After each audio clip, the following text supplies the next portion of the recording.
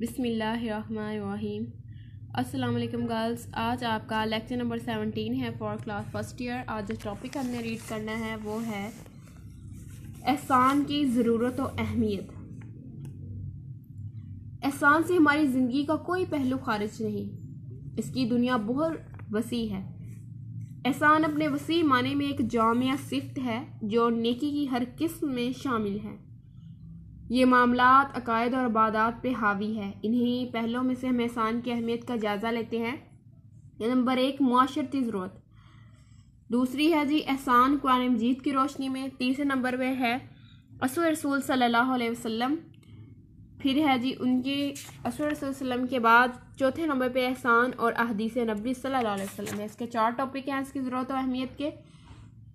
पहला है कि एहसान बेहतर माशरती ज़िंदगी का सरचश्मा है।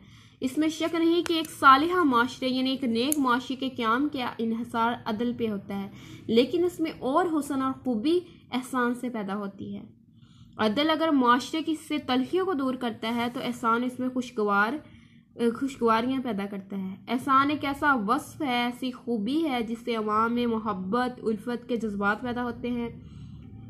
बाहमी अनाद और बुगज़ ख़त्म हो जाता है, और मुआशी में अमन सुकून की फ़ज़ा कामिल हो जाती है। दर हकीकत माशरती ज़िंदगी को खुशगवार बनाने के लिए सिर्फ़ यही काफ़ी नहीं कि हर शख्स नाप तोल को अपना हक पहचानता रहे और इसे लेकर ही रहे और इस तरह दूसरे का हक नाप तोल के करके सिर्फ़ वक्त इतना ही दे। इस किस्म के माहौल में ये तो मुमकिन है कि कोई तनाज़ और कशमकश ना रहे, यानी कोई झगड़ा ना हो, लेकिन अफराद में इसार कुर्बानी, फ्याजी और आली जज्बात ख़त्म हो जाएँगे, जो दरअसल ज़िंदगी की असल रूह है। इंसफात की वजूद इसी वक्त मुमकिन है जब मुआशी का हर फर्द एहसान की रविश पे गामजन होगा, यानी एहसान को तरजीह देगा। अगला हमारा टॉपिक है सेकंड नंबर पे एहसान कुरान मजीद की रोशनी में। कुरान मजीद में हर जगह जा बजा एहसान की अहमियत ज़रूरत पर ज़ोर दिया गया है। वालदेन, अकारब, हमसाया, रिश्तेदार, मुसाफिर सब के साथ उसने सलूक की ताकीद की गई है। सो नहल में अरशाद बारी ताला है। इन यामरु बिल वल एहसान। तर्जमा बेशक अल्लाह अदल इंसाफ का हुक्म देता है। अदल और एहसान का हुक्म देता है। दूसरी जगह पर सब बकरा में इरशाद फरमाया है वह अहसिन और नेकी करो। इन मोहसिन बेशक अल्लाह नेकी करने वालों को दोस्त रखता है। फिर फरमाया, हल जजाउल एहसान इल एहसान। एहसान का बदला एहसान के सिवा नहीं। खुदा तला के स्माय हसना में एक नाम मोहसिन भी है। ज़ाहिर है, खुदा तला से बढ़ के कौन मुसलमान हो मोहसन हो सकता है? जिसके बरी इंसान पे एहसानात इस कदर हैं कि इनका शुमार नहीं किया जा सकता। ज़मीन से आसमान तक और फर्श से अर्श तक जो कुछ भी है, सब इसकी एहसानात का नतीजा है। हमारा जो सरापा है हमारा सरापा है, वो हम सरासर अल्लाह का एहसान ही है। यही वजह है कि खुदा ताला खुद अपनी मिसाल दे के बंदों को आपस में एहसान करने का हुक्म देता है। अल्लाह ताला ने सूरत में फरमाया, वाहसिनी कमा अहसन का और नेकी कर जैसे तेरे साथ अल्लाह ने नेकी की है। फिर शाद फरमाया, वकोलू लिन्ना से हुसना। और तुम लोगों से अच्छी बात कहना। अल्लाह अदिल भी है और मोहसिन भी, यानी अल्लाह एहसान करने वाला भी है और अदल करने वाला भी है। इसका यह अदल है कि जब तक कोई शख्स बदी, यानी गुनाह का काम नहीं करता, उसके नामा इमाल में उसकी बदी या गुनाह दर्ज नहीं होता। कैसा अल्लाह ताला का पाक करम है, हम पे कितना बड़ा एहसान है कि जब तक हम उस गुनाह को करें नहीं, तब तक हमारे नामा माल में वो दर्ज नहीं होती। और जब हम उस बाद इरतकब जुर्म यानी उस गुनाह को कर ले तो उसकी सूरत में सिर्फ़ एक ही बार वो बदी या गुनाह लिखा जाता है। लेकिन नेकी की सिर्फ़ नीयत ही की जाए तो इसकी एक नेकी इसके में दर्ज हो जाती है। यानी नेकी, हम जब नेकी करते हैं, नेकी की अभी नीयत ही करते हैं, हमारे दिल में ख्याल ही आता है तो उसका हमें सवाब उसी वक्त मिल जाता है। और जब हम नेकी करते हैं तो उसका फिर से अगेन सवाब मिलता है। और अगर इस पर अमल भी किया जाए तो दस ता सात सौ नेकियाँ इसके हिसाब में लिखी जाती हैं। यही एहसान है, यानी हक से ज़्यादा देना। अल्लाह ताला बड़े मोहसिन है। तीसरे नंबर पे असु रसूल सल्लल्लाहु अलैहि वसल्लम की जो ज़िंदगी है, अन हजूर सल्लम की हयात तयबा कामल नमूना थी, एक मुकम्मल नमूना थी। आप वसल्लम ने ना सिर्फ़ अपने दुश्मनों, बल्कि दुश्मनों से भी, अपनों से भी हमेशा एहसान का सलूक किया। गज़ा बदर में मशरकिन मक्का के कैदी आप के हाथ आए, इनसे बढ़ के आप का कोई दुश्मन ना था।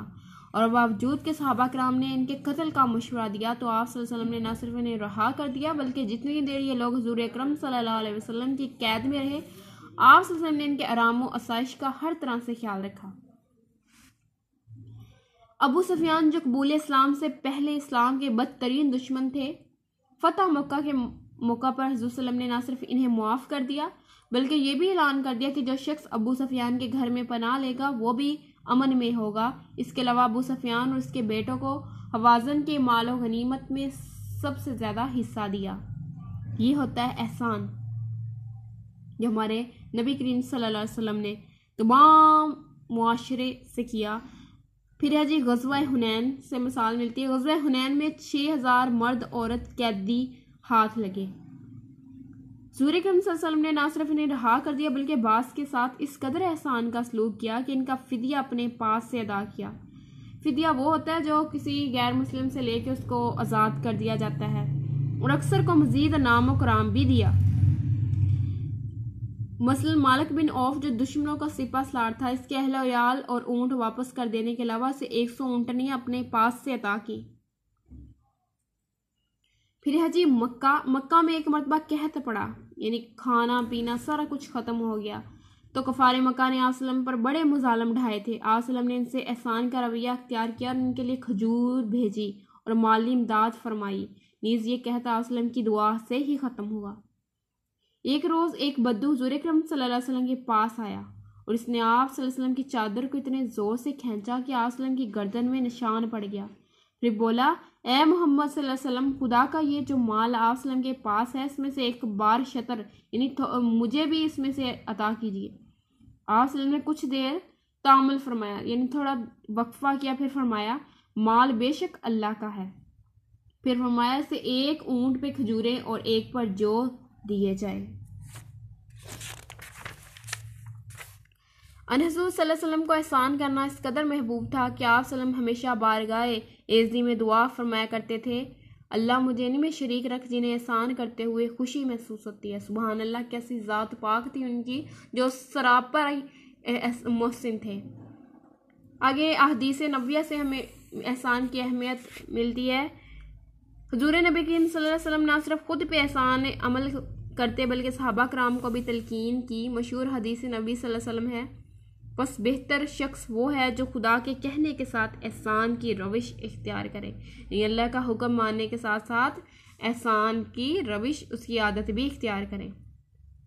एहसान ये है कि तो अल्लाह की इबादत इस तरह करे गोया तो इसे देख रहा है। यानी ये जहन में रखे कि हम अल्लाह को देख रहे हैं। अगर तू इसे नहीं देख रहा तो वो तुझे देख रहा है। फिर ये अपने जहन में ख्याल रखें कि वो हमें तो देख रहा है ना, ये एहसान है। जो अपने कर्जदार को मोहलत देगा, यानी जिसने आपसे कोई कर्जा लिया है, उसको मोहलत देना, थोड़ा रिलैक्सेशन और ज़्यादा दे देना, या इसका कर्ज मुआफ़ करके इस पर एहसान करेगा तो क़्यामत के दिन खुदा के अर्श के साय में होगा। और यह बात किसने कही? हमारे प्यारे नबी सल्लल्लाहु अलैहि वसल्लम ने। हजूर करम वसल्लम का इशाद है, ये ना कहो कि लोग में, हमारे साथ एहसान करेंगे तो हम भी इसके साथ एहसान करेंगे, जैसा कि एज इट सिचुएशन गर्ल्स हमारे साथ है कि हम, अगर हमारे साथ कोई बुराई करे तो तभी हम उसके साथ करेंगे। अगर हमारे साथ कोई बुराई करे तो हम उसके साथ बुराई करेंगे। और वो ज्यादती करेंगे तो हम भी ज्यादती करेंगे। बल्कि इस बात पे पुख्ता हो जाओ, इस बात पे यकीन रखो कि एहसान करने वालों के साथ एहसान करोगे और बुराई करने वालों का जवाब भी एहसान ही से दोगे।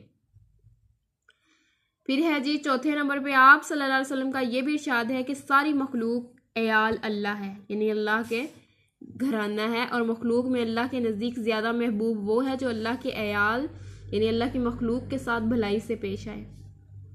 नीज़ फरमाया इन अल्लाह कातबा, कातबल एहसान आला कुल्ली शैन अल्लाह ताला ने हर चीज़ पे एहसान फ़र्ज़ किया है। आप वसल्लम की दुआ ये है अल्लाह मुझे इन लोगों में शामिल कर जिन्हें एहसान करते हुए खुशी हो।